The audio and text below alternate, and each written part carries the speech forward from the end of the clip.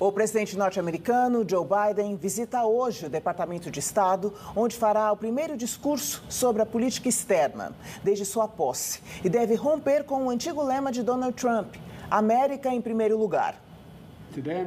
O presidente Joe Biden deve fazer um discurso para destacar pontos-chave da política externa de seu governo para diplomatas dos Estados Unidos. Alguns pontos a serem abordados já são bem conhecidos, como retomar compromissos internacionais, como o Acordo do Clima de Paris e o Acordo Nuclear com o Irã. Mas novos desafios já aparecem para testar a política externa de Biden, como as prisões do líder de oposição Alexei Navalny e de manifestantes na Rússia, além do golpe de Estado dos militares em Mianmar, com a deposição da presidente Aung San Suu Kyi. Quanto ao Brasil, Quatro meses após fazer críticas públicas contra o desmatamento, Joe Biden recebeu nesta semana um longo dossiê de 31 páginas que pede o congelamento de acordos, recomenda que Biden restrinja importações de madeira, soja e carne